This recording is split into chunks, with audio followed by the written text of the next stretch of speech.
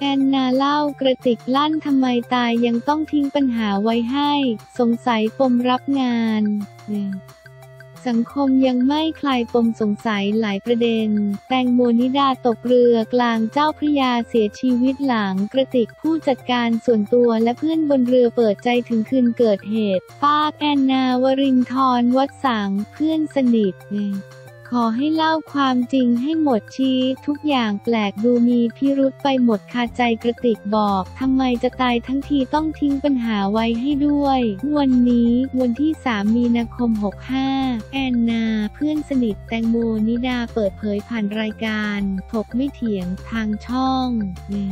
7 XD ดำเนินรายการโดยทีมโชคกมลกิจถึงการจากไปของเพื่อนสนิทว่า ไม่เชื่อเลยเรื่องที่แตงโมไปปัสสาวะท้ายเรือตอนแรกมีหลายคนมาเตือนบอกให้ระวังกลุ่มนี้ เพราะพวกเขามีเส้นสายกว้างขวาง เราก็ระวังตัวนะ แต่เราไม่กลัวเพราะเพื่อนตายทั้งคน พวกเขาก็ไม่เคยติดต่อมาหาอะไรเราเลย มีแค่ได้คุยกับกระติกตอนที่ไปนิติเวศ ตอนนี้เราสงสัยแค่ว่าทำไมกระติกไม่พูดความจริงเท่านั้นเองอืม เราเชื่อว่าที่เขาเล่ามามันไม่ใช่ความจริงทั้งหมด เราแปลกใจตั้งแต่วันนั้นวันที่เราไปท่าเรือพอเราจะไปเขาบอกไม่ต้องไปเขาให้เหตุผลว่าเราเป็นนักข่าว เขาตอบชัดเจนว่าเขาไล่เรากลับบ้าน เพราะเราเป็นนักข่าวอืม ถ้าเราทำอาชีพอื่นเขาคงให้เราอยู่ต่อ วันที่ไปนิติเวชกระติกไปถึงก่อนแอนนา แต่ไม่เข้าไปดูศพไม่รู้ว่าไปรอทำไมวันนี้ยังสงสัยว่าทำไมไม่พูดความจริง ยังเชื่อว่าสิ่งที่เราไม่ใช่ทั้งหมด เราบอกให้เขาสาบาน เขาบอกว่าทำไมต้องสาบานให้เธอสบายใจแถมกระติกยังบอกอีกว่า เขาก็โกรธเหมือนกันทำไมแตงโมจะตายทั้งทีต้องทิ้งปัญหาไว้ให้ด้วย เรื่องนี้ไม่เคยพูดที่ไหน แต่วันนั้นมีคนอยู่หลายคนยืนยันได้ คำพูดเขาฟังได้แต่ว่าไม่น่าเชื่อ ที่ทำให้เราไม่เชื่อเรื่องนี้ เพราะแตงโมเป็นคนอั้นปัสสาวะเก่งมาก และแตงโมว่ายน้ำเป็นท่าตกลงไปยังไงก็ต้องประคองตัวได้ในระดับหนึ่ง ที่ผ่านมาเคยไปว่ายน้ำด้วยกันในระดับที่ลึกมาก เราก็ถามแตงโมว่าทำได้ไง แตงโมก็อธิบายให้ฟังว่าตีขาสิง่ายมาก และยังมีเรื่องชุดอีกชุดที่แตงโมใส่ยาวกรุยกรายไปปัดสาวะคงยากมากแอนนาเล่าต่อว่า ได้มีการถามกระติกถึงเรื่องผลประโยชน์ต่างๆ ที่แตงโมทิ้งไว้ให้ว่ามีบ้างไหมเขาบอกไม่มีสุดท้ายเราก็มารู้จากฮิปโปว่ามีเงินประกันอุบัติเหตุจากที่แตงโมไปทำกับอีกรายการหนึ่งไว้ พอเราไปถามเขาก็อ้างว่านึกว่าเป็นคอนเทนต์รายการเฉยๆ ส่วนวันที่ได้มีการคุยกับกระติก แล้วกระติกเล่าทุกอย่างให้ฟังวันนั้นเขาบอกว่าเขาจะต้องมาพูดกับสังคมอยู่แล้ว เราบอกว่าถ้ากระติกเล่าแบบนี้นะ เราจะช่วยพูดให้ทุกคนเคลียร์ซึ่งเขาก็ออกมาพูดแล้ว แต่เราไม่บอกแล้วกันว่าเราเชื่อหรือไม่เชื่อ ตอนแรกเราไม่แน่ใจว่ากระติกไปรับงานอะไรมาหรือเปล่า ซึ่งกระติกบอกว่าไม่มีอะไรหรอก แต่จากคลิปโมมันพูดยากอืม เราเลยเริ่มคิดว่ามันผิดสังเกตเราอยากให้มีการเช็ค statement ยอดเงินล่าสุดว่ามีอะไรแปลกแปลกไหม เราไม่รู้ว่าตำรวจให้กระติกเข้าเครื่องจับเท็จหรือยัง หรือว่าจะรอให้เขาดีขึ้นก่อน แอนนาเปิดเผยว่า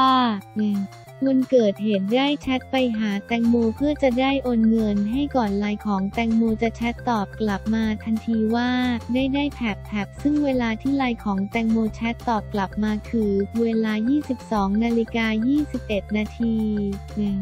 ซึ่งมันเป็นช่วงเวลาใกล้เคียงกับที่ทางกู้ภัยได้รับแจ้งทางไลน์เวลา 22นาฬิกา49 นาที ว่าแตงโมตกน้ำเราเองก็แปลกใจปกติแตงโมไม่ใช้คำแบบนี้ แล้วเวลาส่งเลขบัญชีเขาจะส่งรูปเลขบัญชีกลับมาเลยมันง่ายมาก แอนนายืนยันว่าแตงโมไม่มีวันยอมรับงานกินข้าวแน่นอน และอีกอย่างวันรุ่งขึ้นอ แตงโมมีงานที่ต้องไปถ่ายกับพี่คิม เขาคงไม่ดื่มหนักแล้วกลับดึกแบบนี้ผิดวิสัยเพราะก่อนนอนเขาต้องทานยาก่อนนอน ก่อนหน้านี้เราเคยขึ้นเรือกับโมสองทุ่งเรือเทียบท่าเราเลยถามโมว่ากินอะไรต่อไหมอืม โมบอกไม่เอาแล้วเดี๋ยวนี้นอนเร็ว เราเชื่อว่าถ้าโมรู้ว่าโมจะเจออะไรแบบนั้น โมก็คงต้องวีดวาดแน่นอน เธอฆ่าฉันเถอะ ถ้าจะให้ทำอะไรแบบนั้น เขาแอนตี้อะไรแบบนี้มาก ถ้าเขารับงานแบบนี้จริงเขาคงรวยไปแล้ว อืม แอนนากล่าวทางด้านทนายนิดา สรัญญาหวังสุขเจริญ ทนายความชื่อดังเผยว่าไม่เชื่อว่าจะมีการปัดสาวว่าเกิดขึ้นจริง อาจจะเป็นการสร้าง story ขึ้น ซึ่งหากเจ้าหน้าที่เชื่อที่เขาอ้าง คดีขึ้นไปสู่ศาลอืม แล้วสิ่งที่เขาอ้างฟังขึ้นก็จะไม่มีใครต้องรับผิดเรื่องใหญ่ๆ story ที่เขาสร้างขึ้นเขาพยายามผลักภาระให้แตงโมว่าแตงโมเป็นคนตกไปเอง เขาพยายามหาเหตุผลว่าทำไมแตงโมไปปัสสาวะขึ้นมา เรื่องนี้เชื่อเลยว่ามีการเตรียมกันอยู่แล้ว เพียงแต่ต้องสืบต่อไปว่าเตรียมกันเพื่อปกปิดเรื่องอะไร และมีความเป็นไปได้ที่จะมีการผลักให้ใครรับผิดไปคนเดียว แต่ก็ไม่แน่คดีมันยังไม่นิ่ง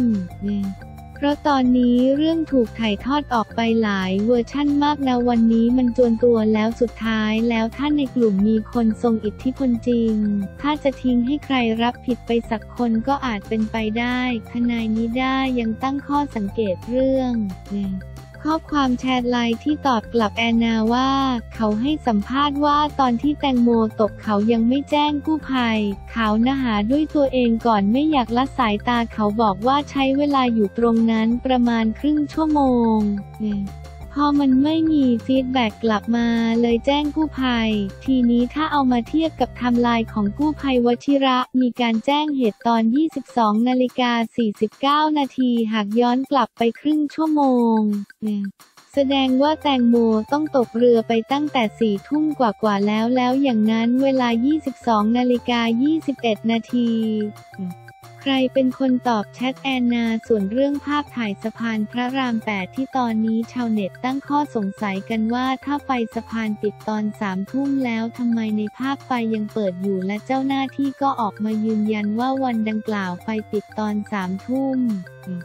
แถมมีคลิปภาพวงจรปิดร้านอาหารบริเวณนั้นที่ถ่ายติดสะพาน ก็พบว่าไฟสะพานถูกปิดไปแล้วจะอ้างว่าเป็นการถ่ายภาพในโหมดไนท์โหมดจะทำให้ภาพสว่างขึ้นทั้งหมด แต่ไม่ได้ทำให้สว่างบางจุดแต่ภาพนั้นที่มีการโชว์ออกมา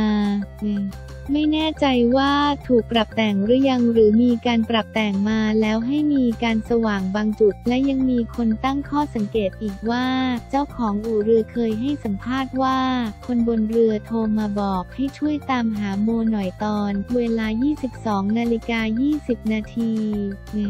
แล้วใครเป็นคน